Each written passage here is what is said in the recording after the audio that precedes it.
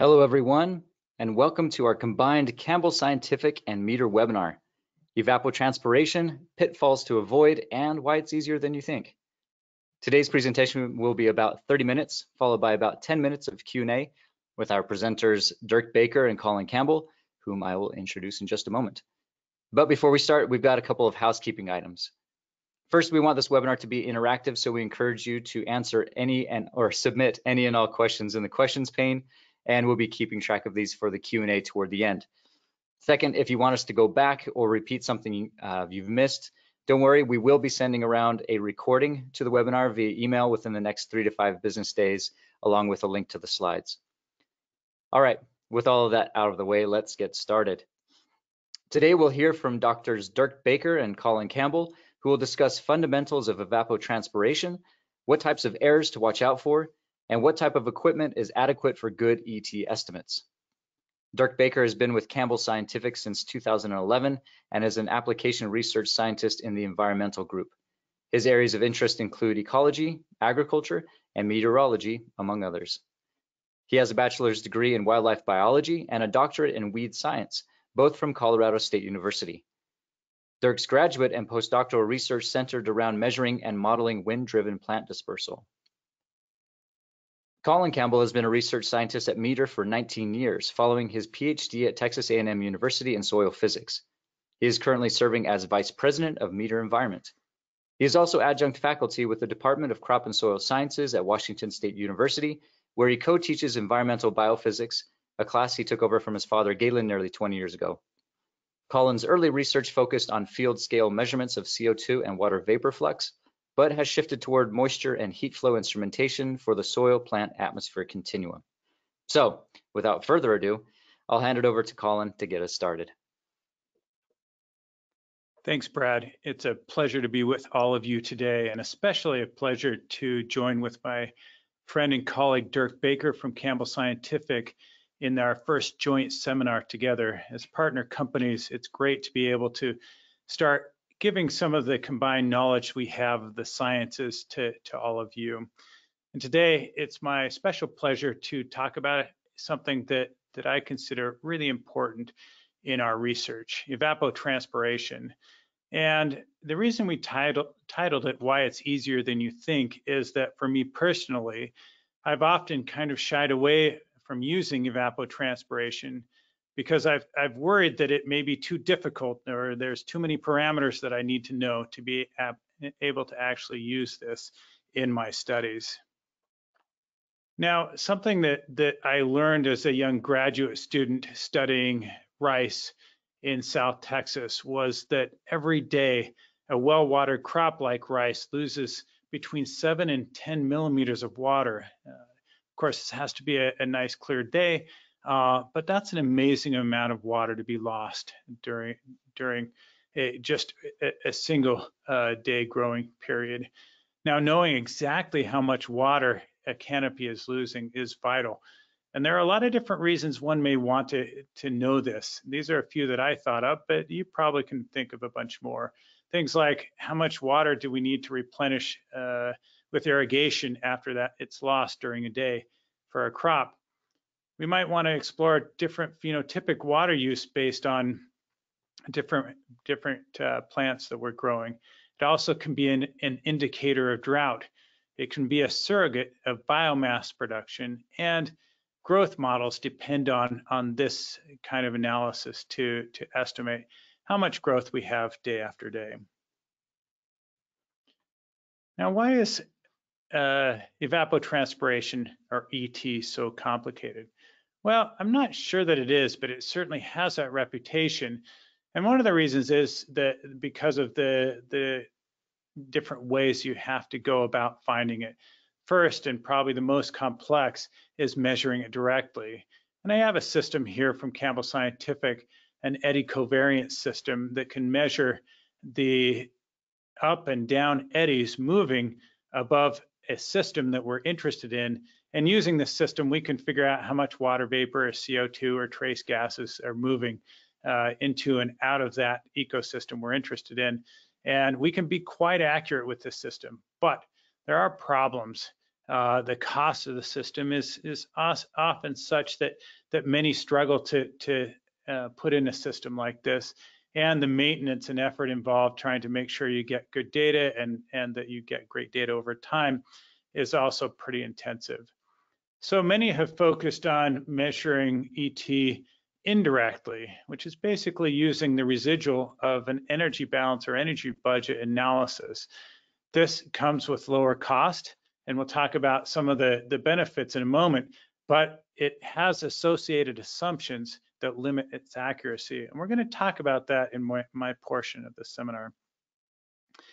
So as I thought about trying to estimate water loss from a canopy, the first thing that comes to my mind is the thought that, well, if we really wanted to just measure this, this value E, the evaporation, why not do it the simplest way possible? And there is an equation, and I teach this in that environmental biophysics class that was mentioned earlier, that just says to get evaporation, we need to know the ability of water vapor to move from the point, from the starting point to the ending point, basically inside the leaves in this canopy to the to the atmosphere and the difference in concentration inside the leaf and in the atmosphere. So this would make a very simple analysis if we just use this equation, but there is a major problem with this. It involves this conductance to vapor, and that in turn, the conductance of vapor over here depends both on the conductance in of vapor in the air, which we get with the turbulent transport equation, but we can calculate that, but also this conductance to vapor of the, the surface or that canopy. And we don't know the canopy conductance. In fact, we know that it actually changes quite a bit over time depending on several factors that cause stomates to open and close.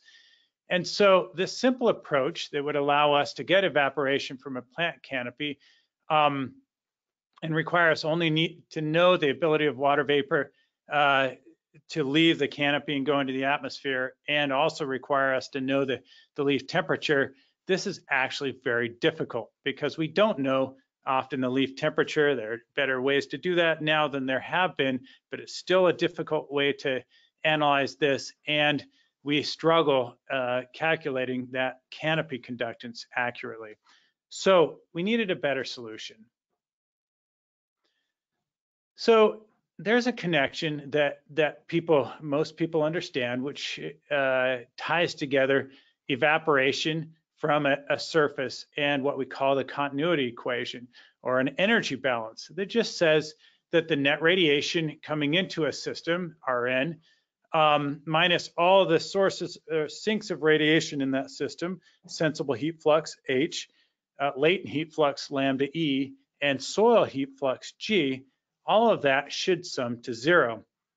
And because in that equation we have that evaporation, if we rearrange it, we actually have this, again, pretty simple equation that says the evaporation should be re related to the net radiation sensible heat flux, soil heat flux divided by the latent heat of vaporization, lambda. So that would be easy except for the fact that we have a lot of things going on with that radiation term that are fairly difficult to calculate. And in the end, we have to know something of the radiation coming into our system we're interested in, but also, and very importantly, the, the radiation that's given off or emitted by that system if it's a canopy, for example. So again, the basic assumption in evapotranspiration is that energy and mass flow are connected. And if we know all other forms of energy movement, latent heat flux is the residual and therefore we can solve for evap evaporation. Now, this is a little more complex than, than this uh, summary kind of gets us to. And this was understood back many years ago by a man named Howard Penman, who worked at the Rothamsted Research Station in the United Kingdom. And his understanding of the link between energy balance and evaporation led him to write this paper. I, I, just threw up a picture of the, the first page of that paper. It's very famous from 1948 on natural evaporation from open water, bare soil, and grass. And um, he produced an equation based on this energy balance or energy budget that was able to analyze evaporation based on those other parts of the energy balance. But one of the problems with this paper was that it included an empiricism, an F value, uh, that tried to take into account the things that he couldn't solve for in the equation. And essentially, that made that equation work quite well for Rothamsted and a few other areas, but it wasn't universally applicable. One cool note about Dr. Penman was that to get to get measurements from his research, he used to spend the night at the the little experiment station they had there in the in the the shed in his sleeping bag, waking up every hour when his alarm clock rang to remember to take different measurements. I think that's a one of the best recommendations I have for for why it's so wonderful to have data loggers these days. So a critical step forward was made by a man named John Monteith many years later. He recognized the importance of having heat and vapor conductance in the equations that Dr. Penman put together. Nowadays, when I learned this equation, I didn't even realize that no one knew that fact since we had learned the conductances first and having them in the Penman-Monteith equation just made so much sense. I didn't realize that at some point people didn't recognize the importance of understanding the ability of water vapor uh, to move from inside the leaf to the outside of the leaf and outside of the leaf into the into the the atmosphere and also the same way from from heat to move from the canopy sensible heat from to move from the canopy to the air so what he did was put together uh, these ideas of vapor conductance, so that in the in the canopy and the boundary layer, the air, and the conductance of heat to the boundary layer in a couple of terms inside this equation, where there's that GV, the the con conductance of vapor uh, in the upper right hand uh, of the Penman-Monteith equation, and then this gamma star equation that not only recognized so so the original just gamma uh, this is was the the heat capacity over the latent heat of vaporization. Now we're multiplying that by a ratio of the conductance to heat to the conductance of vapor. And this gave our psychrometer constant now a star, so gamma star. And that that recognized the the adjustments we have to make when those those things are out of out of out of a unity proportion. So John Monteith understood the importance of, of this heat and vapor conductance. And this new equation was really exciting because it removed the empiricism that, that Penman's original equation had in it and became a practical solution for a broad set of locations. Now, the arguments continue today, does this equation fit everywhere? And as, as Dirk will start talking about in his presentation, well, we need some, some uh, simplifications for this, but it actually is applicable across a very broad range of, of things. But there is a problem here in that that there are some things that we may not have uh, values for, and we're going to have to make estimates. Now, I put up a picture of John Monteith here, and I, I have to say, as I talk about him, I got to meet John when I was a seven-year-old boy, and my father was going for a sabbatical in England with Dr. Monteith at the University of Nottingham. And he is was described to be by many as I've gotten older as a classic Scottish gentleman, but I knew him as the nice white-haired man that sat me on his lap from Heathrow Airport to Nottingham and just talked with me and, and asked me questions the whole way. A wonderful man and who is truly missed in our science. Now let's talk about some of these practical aspects of Penman Monteith that I mentioned before and I said I'd get back to.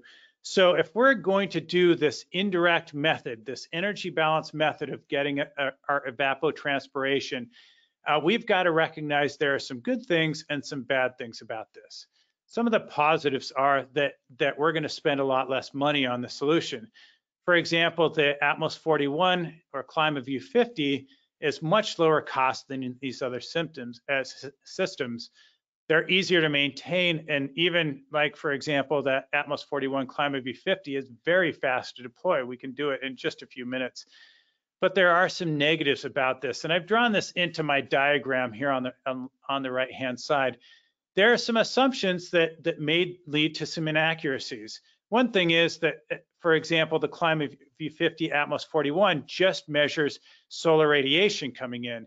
But as I've tried to draw here, while it is going to collect the solar diffuse radiation, things like the solar reflected and all these black arrows coming out here that, that I'm trying to draw in the, the, the long wave radiation, both downwelling and upwelling, it's not going to capture. So that we're going to have to make an assumption about that that I'll show you in just a moment. It also requires an ongoing canopy assessment of your particular canopy because as I'll mention in a moment, we're not going to actually get the ET from our canopy. We're going to get the supposed ET from a reference canopy and then and then convert it over to our canopy using what we call a crop coefficient. And unfortunately, we can only make hourly or daily assessments, another thing that Dirk will talk about in a moment. So what do we need to, to gather for our Penman Monteith uh, that, that may, or to estimate that maybe just a little beyond uh, what we're going to be able to measure with a typical weather station?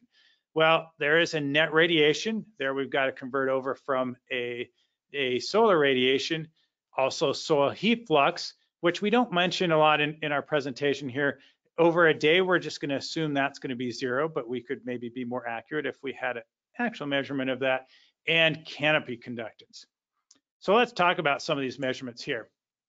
So if we had a complete suite of instruments, we wouldn't have too much of a problem estimating ET. Now, someone who's long been messing around with energy balance may be arguing with me here that we still have a consistent problem that, that closing completely the energy balance is something that we haven't quite done yet. So I'm not arguing that we would be able to do that completely with the instruments I'm showing, but especially with something like this four band uh, net radiometer. So we're collecting both upwelling and downwelling shortwave radiation and long wave radiation in this device. Then we go, get a long ways toward at least getting an accurate measurement of our net radiation, a big piece of this analysis.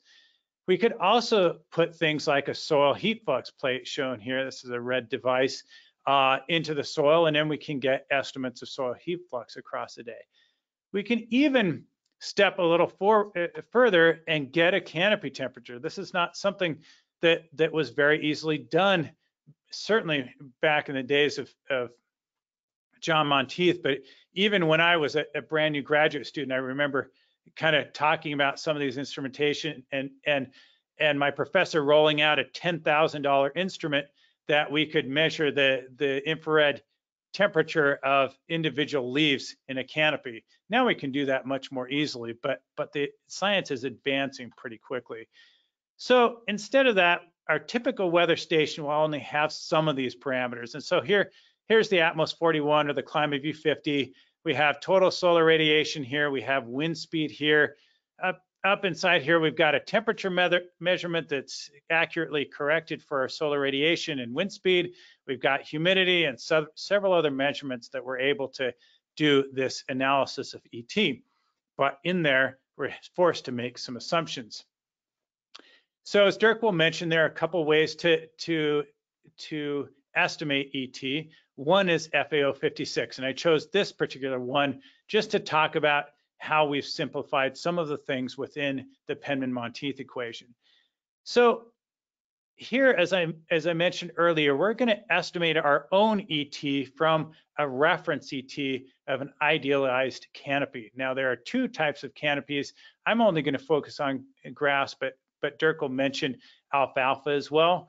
So grass is that we're going to idealize here. It's 12 centimeters high. It's well watered. And if we do that, we can then use some, some of these simplifications I've shown here on the right-hand side.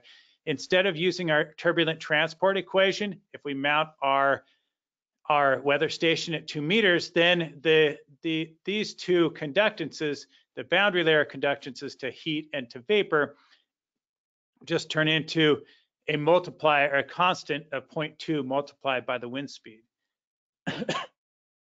The conductance to vapor is also simplified. Here we're going to assume that the canopy conductance is about 0.6 moles per meter square per second. Now that's higher than an individual leaf conductance. I've measured those many, many times. They're typically for a well-watered leaf are around 0.2 or 0.2 moles per meter square per second. Uh, but there's a rule of thumb. We can multiply by three and get a canopy conductance. Now you see some of these empiricisms coming in. And then we just have the, the conductance to vapor that includes the canopy conductance and the, the boundary layer conductance. We combine them together in this equation to get an overall GV just as a function of, again, the wind speed. Same thing for the psychrometer constant, gamma star. Uh, we have a multiplier here that just includes the wind speed. So the other piece that we have to estimate is the net radiation and errors to the net radiation are, are going to be in Dirk's talk, but I'll mention here that if we only have solar radiation, we have a constant that we're going to multiply our solar radiation by, and then we're going to subtract from it things related to the average temperature, the vapor pressure, and in a function of cloudiness. So this side of the equation actually takes into account our long wave radiation portion and is based based on lots of experiments to tie the, the net radiation to the the total income incoming solar radiation, but it is a simplification. So why does this work? Well, we multiply this by our crop coefficient to adjust it to our specific need. And then using this specific surface, this idealized surface, this 12 centimeter grass, we can, in, and other things like the canopy conductance and the, the net radiation, we can make this estimate of ET. And now I'm going to turn the time over to, to Dirk, who's going to continue our discussion. Thank you, Colin, and thanks everybody for joining us. And it's a, a, real pleasure to be able to collaborate with Meter and Colin, and I look forward to, to future collaborations as well. So this is a, another version um, or another what uh, another way to write the Penman-Monteith equation. And I won't go into, into a lot of detail because Colin's covered a lot of this already. But there's a couple of things that if you're like me, they'd stick out very quickly. First, we have this strange constant of 0.408. Um, now, if you remember from Colin's uh, talk, there's usually you'd see, uh, or you would see the, the lambda in the denominator. So one over lambda, or the latent heat of vaporization, is simply that 0.408. And then the other two uh, that are so clearly uh, described there in the list of parameters are the Cn and Cd, or the numerator constant and the denominator constant. So uh, uh, the, the strange description there aside, these are really just relating to a lot of the canopy uh, that simplifications that Colin's talked about. And so these are dependent, these are basically a lookup table of, of values that would be used for either if you're using a short or a tall reference, and then if it's an hourly calculation, then whether it's day or nighttime. Okay, so as Colin alluded to, there are a couple of uh, formulation of Penman-Monteith that are at least the most commonly used in the world. One is that FAO 56, it's the Food and Agriculture Organization, it's part of the UN. And the other is the ASCE standardized reference, and this is the American Society of Civil Engineers. And there's links there at the bottom to both of these. Uh, you can get the full versions for at no cost. Um, so the difference between these are, is really not there. Uh, in fact, if you wanted to look, I think it's in the appendices of the ASCE standardized reference, there are some comparisons of, of these two and as well as a couple others methods of, of calculating ET um, using Penman-Monteith. Uh, the METER uses uh, or provides a, a, daily calculation based on FAO 56 in the Zentra cloud, and Campbell Scientific has the ASCE hourly calculation. Um, now the difference between daily and hourly uh, is really pretty small most of the time. The only time you'd see significant variation or significant differences is, is if you have substantial variation in less than a day in one or more of the measurements. Um, and I have heard of some some efforts to do even shorter time intervals, but again, I think that relates to uh, whether or not, and it could be done. Uh, I just don't know that you'd gain a lot because uh, you'd have to have significant, significant variation in, in, one or more of the measurements at that time scale for that to make much of a difference. And coming back to this equation now, um, now I've added the list of measurements that we would use either with FAO 56 or ASCE um, against the list of parameters. And the first thing that sticks out is that there's only two of these parameters that are directly measured, and that's temperature and wind speed. And so, so the rest of these are modeled to one degree or another. And so things like the saturation vapor pressure and the vapor pressure, these are pretty straightforward relationships just based on temperature and relative humidity. But uh, the, especially net radiation is heavily modeled to get to that. So then the question becomes, um, what, which of these measurements are the most important? Which ones do we want to be most concerned about the, the, uh, the accuracy? And so here's a, an attempt to render what amounts to be uh, about six different dimensions, if you will, into two dimensions. So bear with me for a moment while I explain this. So this figure holds um, the four, the, the, three measurements constant uh, while varying one other. And then there's the other two dimensions that are held constant for all of these. And those are just the, the time and the, the, the location of the, the measurement. And location just matters for solar, solar angle. And so what's held constant for all of these figures here is the location, which is mid latitude, and the time, which is uh, a mid midday on a summer day. Um, and so the short of this uh, is that the steeper the slope, the more sensitive the calculation of ET is to that measurement. Um, and I won't go into, you can, this will be provided as a recording, so if you want to spend more time with it, uh, it does, it took me a little, a little bit to get my head around all of the interactions here, but so you can glance at this quickly at least and see that the steepest slope there is that, that incoming radiation uh, as measured by a pyranometer. And so that is the most important measurement. Now, because these do interact, uh, there's some other generations that we can that we can make. So one is this idea that um, that if if wind decreases or relative humidity increases, then the radiation is is that much more important. And the other is if radiation decreases, then wind speed has the larger influence on that calculation of ET. Now going into a little bit more detail on radiation, uh, these, this on the left is the same figure I just showed. Uh, so this is the sensitivity of the calculation in evapotrans evapotranspiration to incoming radiation versus the net radiation, which again has all of that modeling to get to net radiation from uh, incoming radiation and temperature. And so you can see that that's an even steeper slope. So it's even more sensitive to net radiation.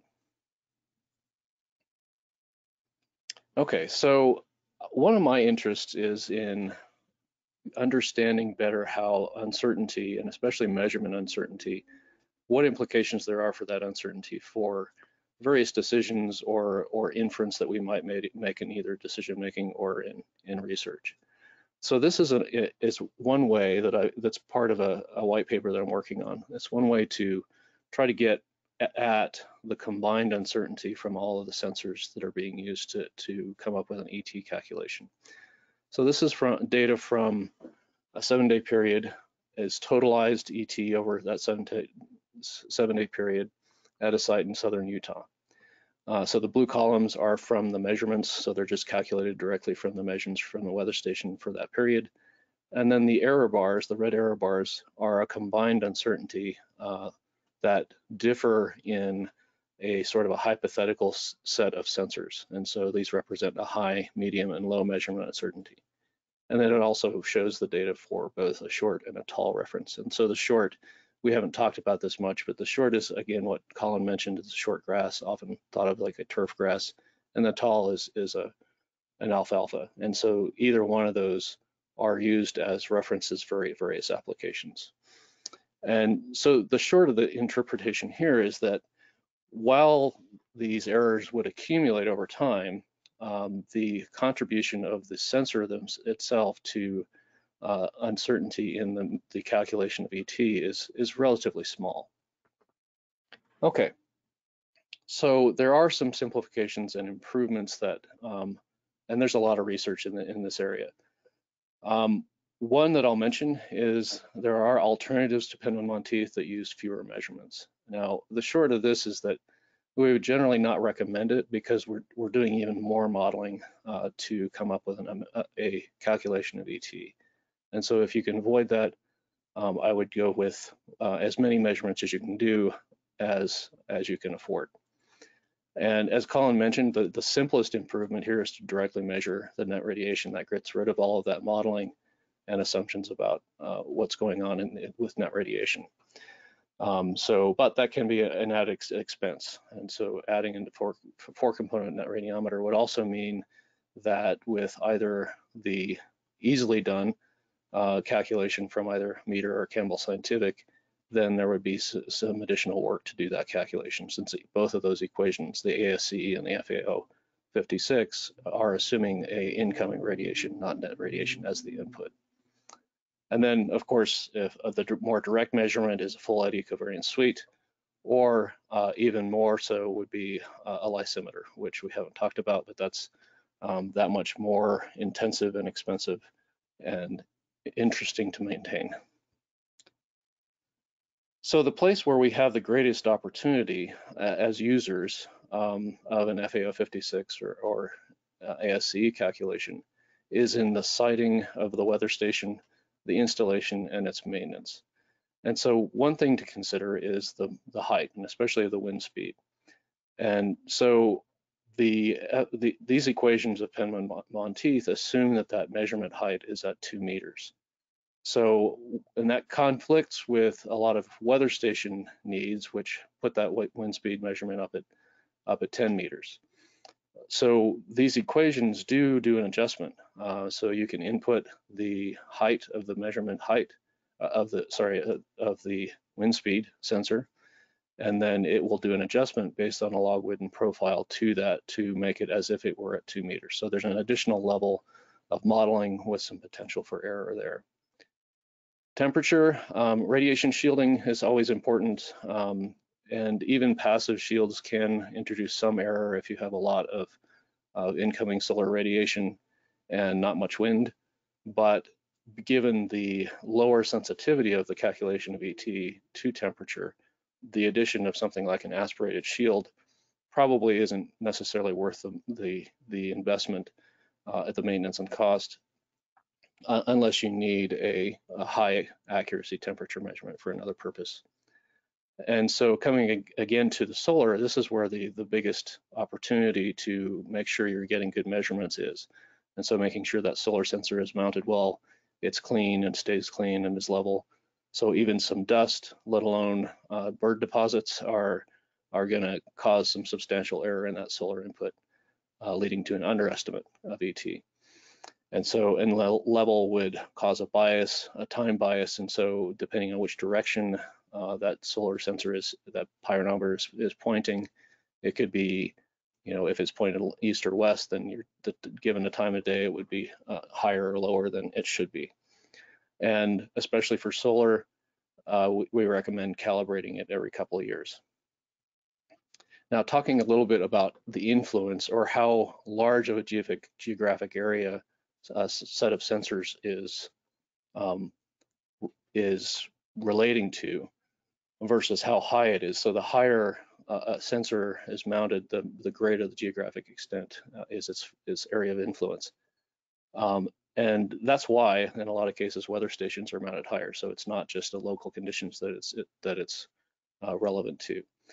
However, that does mean that if those, up, especially upwind conditions, differ strongly from those of interest, then you'd introduce that much more uncertainty and bias potentially into the ET calculation. So mounting it lower, uh, which is why the two meter height is the general rule of thumb, depending on ca canopy height. Now, if you're measuring a forest, that's going to be really challenging because that's a very tall canopy and getting measurements above that canopy is obviously a, a real challenge logistically.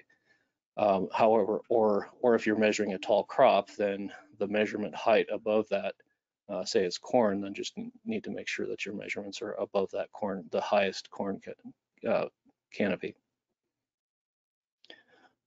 Okay, just a few summary points. We've kind of harped on this, but that net radiation is the most important parameter. So though it is largely modeled, uh, so the simplest improvement is to directly measure that net radiation.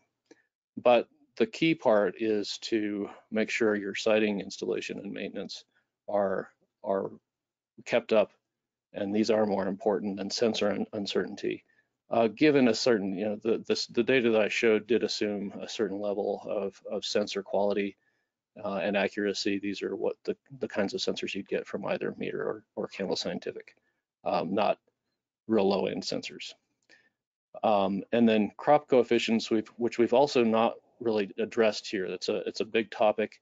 And that's how you go from this, this reference ET to your crop of interest or your system of interest. Uh, it can be very challenging and error prone to, to estimate these crop coefficients. Some are, are more widely available and better estimated than others. But it might be better get, uh, depending on your, your system and how you're using ET, which is uh, definitely something we're interested in hearing from you is how you're using it. It might be better in a lot of cases just to use the reference ET as an index, not necessarily a direct number.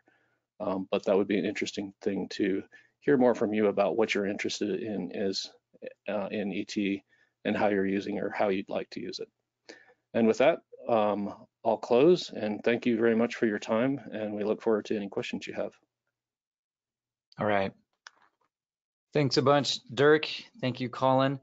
Um, we do have a few minutes for Q&A. Uh, before we start the Q&A section, um, we are going to post a quick poll um, just to see uh, your thoughts, yes or no, on, on, on how this webinar had helped or possibly change your perspective on ET. So I'm going to start that poll. Uh, I'll leave it up for a few seconds just to get enough people to um, uh, to answer, get a good a good sample size there. Um, and while you're answering that poll, um, I did want to let you know that um, you can still enter your questions in the questions pane. And like I said, we'll take a few minutes. We'll see how far we get. Um, we do have a bunch of questions that have come in already. And I just want to just want to warn everybody, we will not be able to get to everybody's question, but we do have them recorded. Um, and so if we do not, uh, so feel free to, to submit your question. If we do not get to it, um, either Colin or Dirk or somebody else from our uh, METER environment or Campbell Scientific teams will be able to get back to you uh, individually via the email that you registered with to answer your question. So please, yeah, uh, feel free to, to ask any and all questions that you have.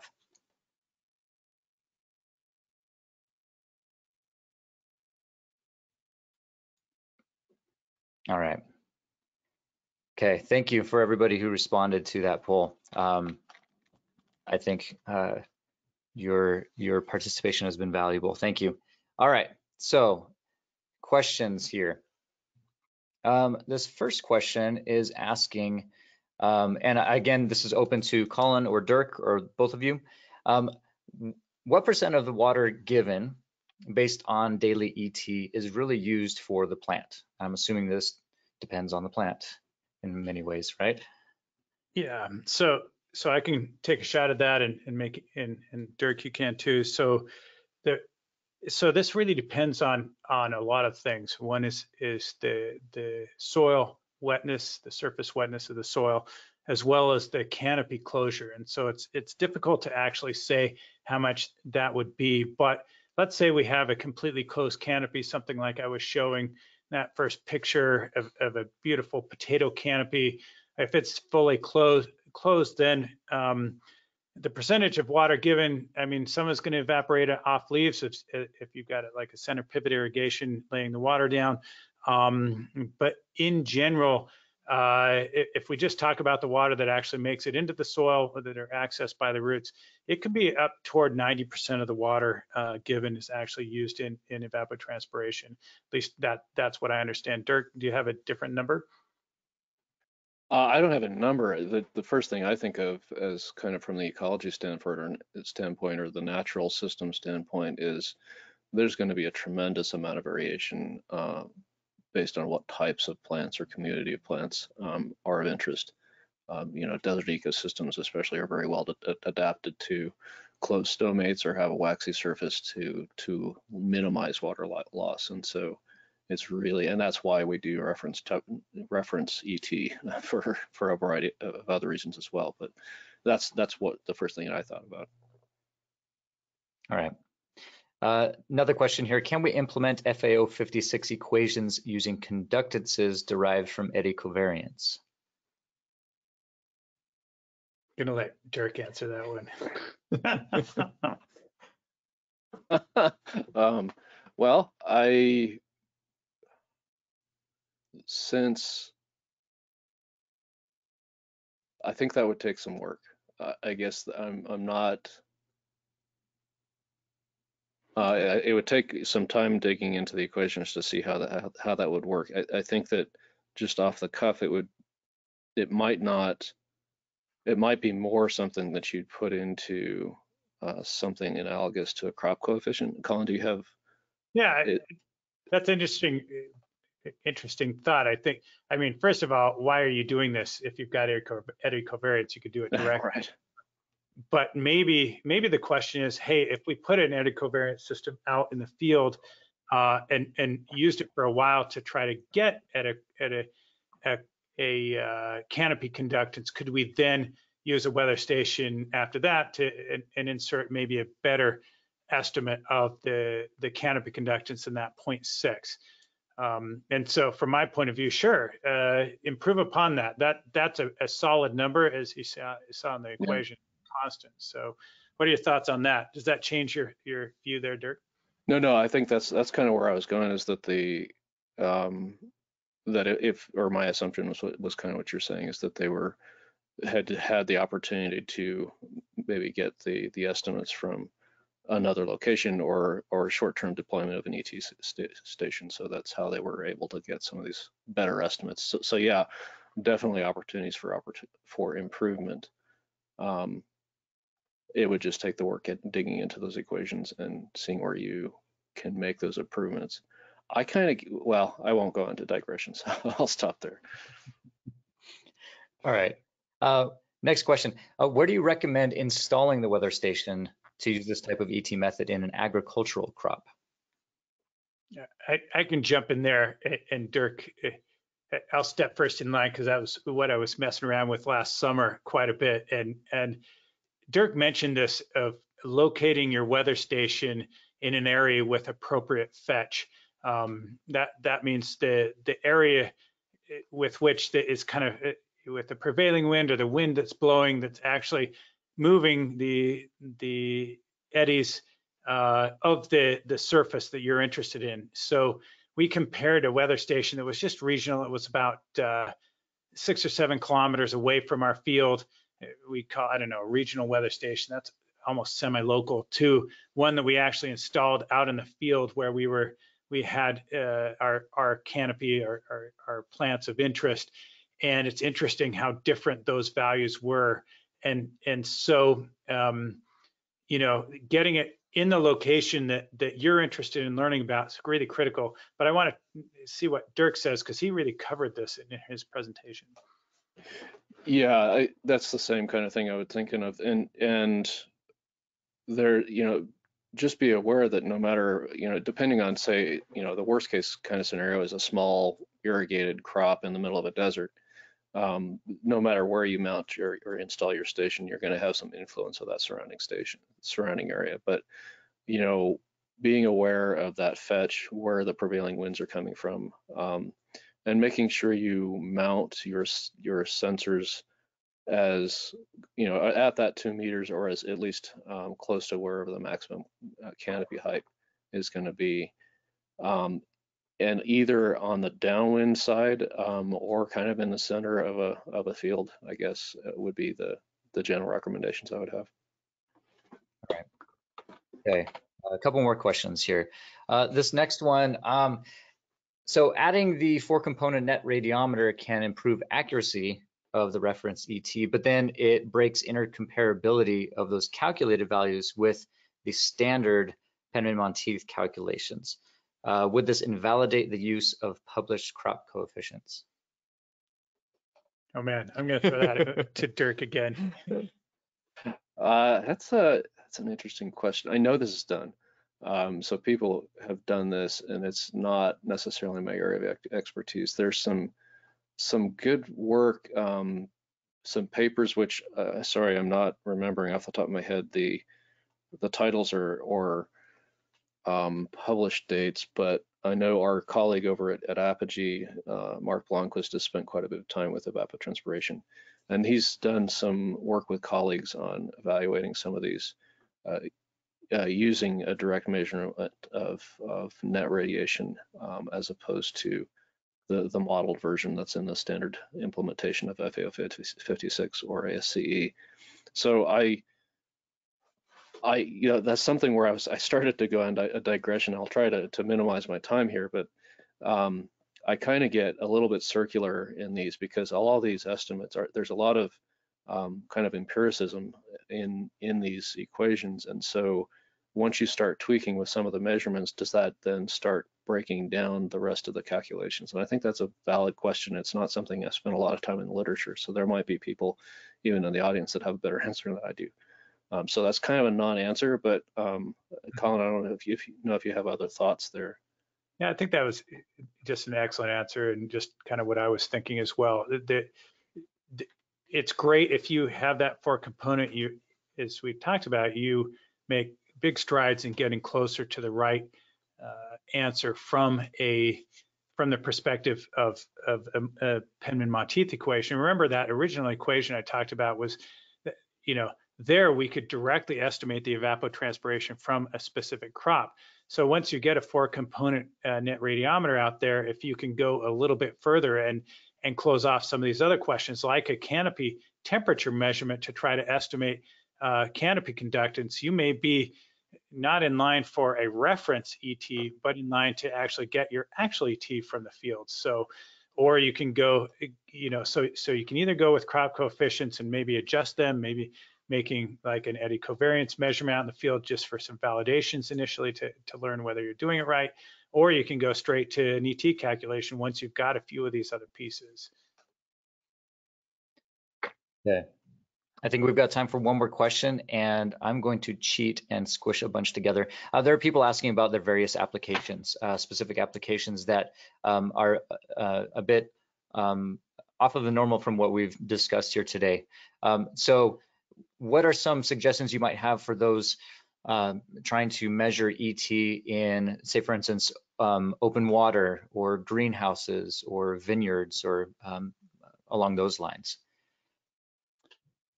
Wow. Um, so I'm going to integrate uh, Dirk in here maybe with thoughts. But but as I came in here, several of you sent in great questions beforehand, talking about, hey, what do we do with potted plants, for example? What mm -hmm. do we mm-hmm. do with forest canopies? You know, what do we do about different things? And and one of the amazing things about ET uh, is that it's one of the most intensely studied topics in literature. So there's a lot of great literature on each one of these, and and I I by no means am, am an expert on ET, but I do know kind of where to point some people in some articles, and it may be something that, that you'll have to look into to more. There's a great open water article. Uh, I think it was by uh, one of my uh, friends, Jay Ham, put something together on that. Maybe we can link that when we send this out if I can find it. For greenhouses, um, a good friend of, of mine, uh, Marcel Fuchs, a colleague of my father's who was a visiting professor when I was really young, uh, did some work on greenhouses, and maybe we could point you to some of that work. Uh, I'm not super familiar with vineyards, but I'm going to turn it over to Dirk to give some thoughts on on some of these too. Yeah, so my first thought for uh, which would be I would hesitate to, hesitate to actually recommend this, but when it's over over water, then the transpiration component of evapotranspiration kind of goes away unless you have a lot of say floating plants and that kind of thing. That's my first thought. And so what you're really looking at is evaporation. Um, and so there is something called an evaporation pan that's a measurement directly of ev evaporation. There's even ways of turning that into, um, which I'm not that familiar with, but there are ways of using an evaporation pan to get at uh, evapotranspiration. Um, they're high maintenance.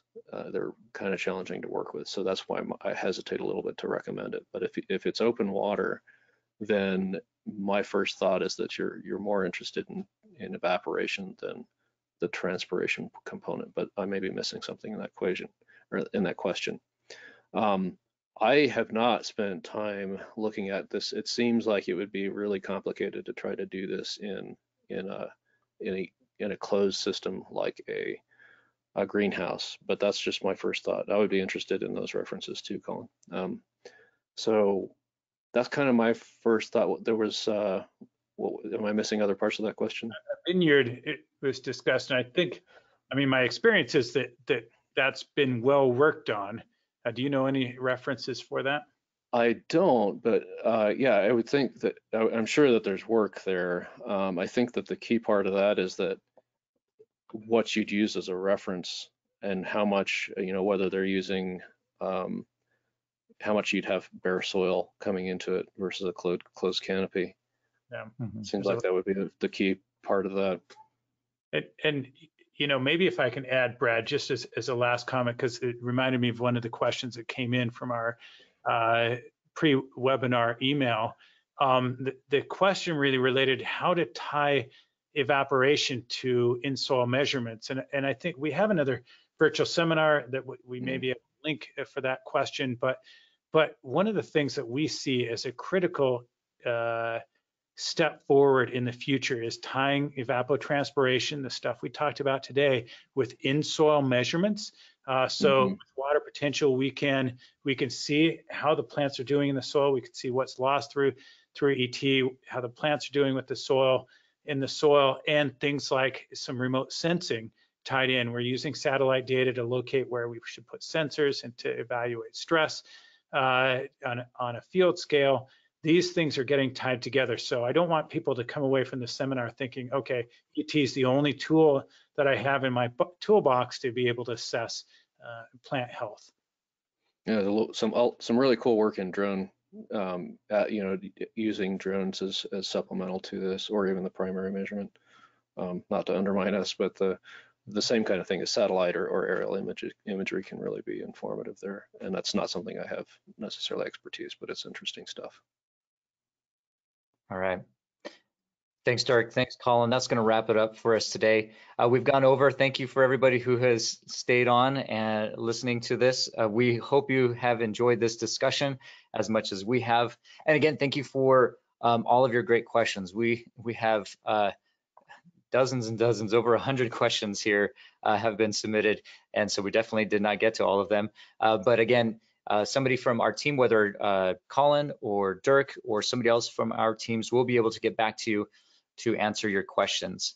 Um, also, please consider answering the short survey that will appear after this webinar is finished, just to tell us what types of webinars you'd like to see in the future. Um, and for more information on what you've seen today, please visit metergroup.com and campbellsci.com. And finally, look for the recording of today's presentation in your email and stay tuned for future METER webinars. Thanks again, stay safe, and have a great day.